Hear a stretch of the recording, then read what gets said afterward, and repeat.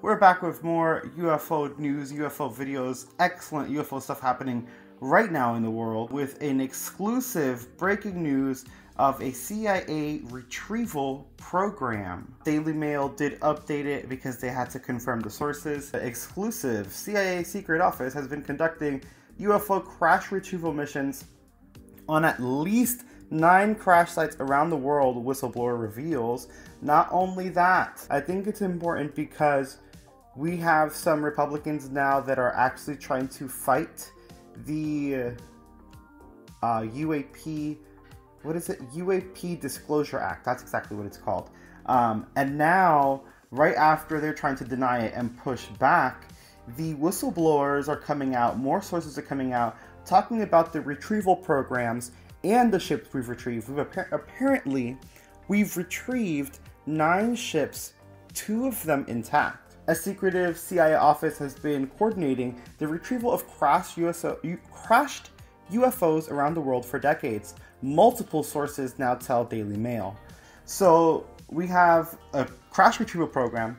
One source said that at least nine apparent non human, and they've specified non human craft, have been recovered by the US government, some wrecked from a crash and two completely intact.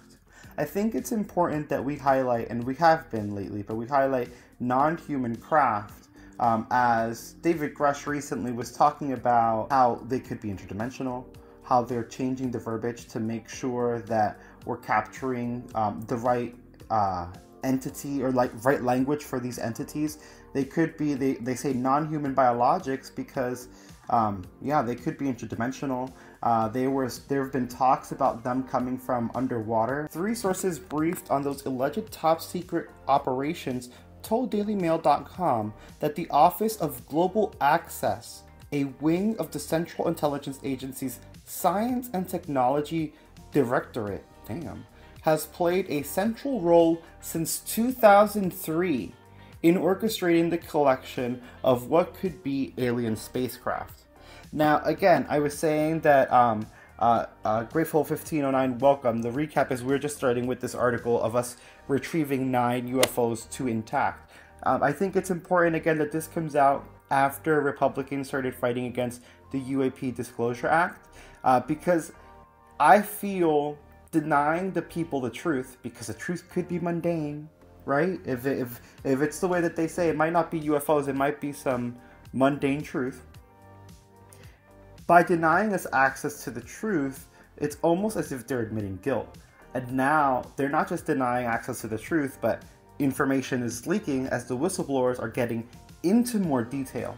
So I feel like we're getting disclosure regardless, and it's going to be sloppy as hell, y'all, so get ready. The three sources who spoke on the condition of anonymity, of course, to avoid reprisals because that's been happening, have all been briefed by individuals involved in those alleged UFO retrieval missions. So they're getting information from the people that are actually retrieving and touching these UFO. Though the shocking claims sound like they come from science fiction novel, they do not, but we've been conditioned to think that way. Uh, they are part of a growing body of evidence, thank you, suggesting that the US government could indeed be hiding advanced vehicles that are not made by humans. The whistleblowers are uh, not playing any games right now. Former top intelligence officer David Grusch told, we know this already, um, Congress as much in a explosive public hearing in July. The same month, Senate Majority Leader Chuck Schumer sponsored an extraordinary bill to allow disclosure of recovered technologies of unknown origin and biological evidence of, again, non human intelligence, which is now passed in the Senate. Sources who spoke to DailyMail.com shed light on how the CIA has allegedly coordinated secret recovery and storage of these alleged crashed or landed UFOs. This is a quote There are at least nine vehicles. There were different circumstances for different ones. One source briefed UFO briefed by UFO program insiders told DailyMail.com it has to do with the physical condition they're in. If it crashes, there's a lot of damage done. Others, two of them specifically, are completely intact. Now that makes me wonder, right, if a lot of them are damaged or if they're all damaged when they crash. If crashes means there's a lot of damage done, then the two that are completely intact, did they land and we find them? Did they give them to us? Was there a trade? Like what is really going on here? I feel like that might be another another reason they don't want to disclose information. Maybe there's been some kind of trade going on that they don't want everyone to know about. The source said that the CIA has a system in place that can discern UFOs while they're cloaked. This I found very interesting. So we have a way to find cloaked UFOs. And that if non human craft land, crash, or are brought down to Earth, again, very, very specific wording here, right? Um, special military units are sent to try and salvage the wreckage. What does it mean? All right, so if an non-human craft lands, okay, they're coming here. You're still going to try and get their stuff while they landed because they came here. A crash makes total sense. Or are brought down to Earth is very specific wording for me that I'm I'm not sure how I feel about it. Again, it makes me think of like a trade or because what if they're giving us something, if it's brought down to Earth, what are they getting in return? What are we giving them back? It, granted, it could just be like, oh yeah, go to like our nuclear weapons and our volcanoes and like sap energy if you need it, or use the sun or something. I don't know. Like we don't know what the hell's going on, but it it makes me feel like there is a trade going on that we don't know about, and I don't feel comfortable with that. Another source with knowledge of the OGA's role said that they specialize in allowing the US military to secretly access areas around the world where they would usually be denied for example, behind enemy lines. So this is definitely global, is what this means. This means that even our enemies, when something like this crashes, they're like, "Oh no, yeah, guys, like you can come in here and, and look at this too." That that means that this is well above and beyond all of us, in my opinion, because enemies don't usually work together. They are basically a facilitator for people to get in and out of countries. The source said they are very clever at being able to get anywhere in the world that they want to. Multiple sources briefed on the OGA's activity told DailyMail.com that most of its operations involve more conventional retrieval missions, such as stray nuclear weapons, down satellites, or adversaries' technology. Interesting. But they claimed some missions coordinated by the OGA have involved the retrieval of UFOs. The task at hand is simply to get in get it into custody and protect the secrecy of it, one source said. The actual physical retrieval is by the military, but it's not kept under military control because they have to keep too many records. So they start moving it out fairly quickly into private hands.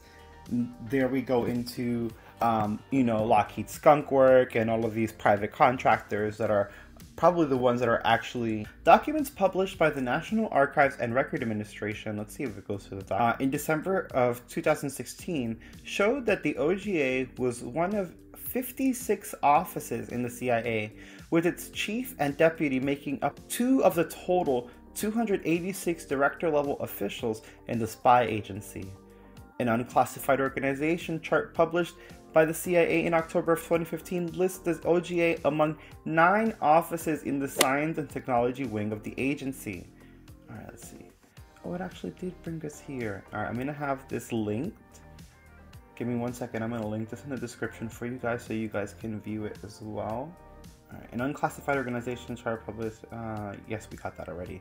Late CIA expert Jeffrey Richelson wrote a 2016 book on the agency that the OGA was established in 2003 and cited a CIA description that it integrates analysis technology and tradecraft to attack the most difficult targets and to provide worldwide collection capability.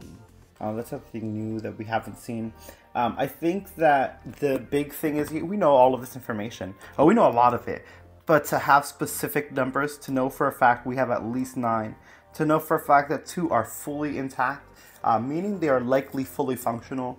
Uh, we've had quite a few whistleblowers throughout time, you know, talk about the craft and working on craft and stuff like that. This may be one, or this may, these may be two craft that are used in exercise. Because remember, some of these are ours. It's so out of hand because I think the other thing that's very important to notice about um, how about all of this is not just oh they're hiding UFOs. It's like you said, these private contractors. Like, we are out of control. We have no control over anything. Like everything's just willy nilly, willy nilly, pell mell. How are you telling the government that they don't have access to information? So. You guys are so awesome. Thank you so, so much for tuning in today. Um, if you want to help out the channel, smash that like and subscribe because it's free. Uh, if you want to further support the channel, uh, feel free. We have awesome memberships, as I said do not feel obligated to join. It just really supports the channel and gets you guys amazing perks like these awesome badges and super funny emojis. Genuinely though, I love you guys. I love chatting with you guys. You guys make this so fun and I appreciate all of you so, so much. Uh, we might go live a little bit later with some gaming.